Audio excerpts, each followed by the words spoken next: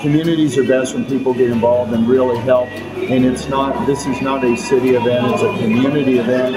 And if you go to any of the sites, it's truly amazing what people are doing. We've got about 2,000 volunteers out here this year, and it just kind of warms your heart to see everybody working together to make a difference.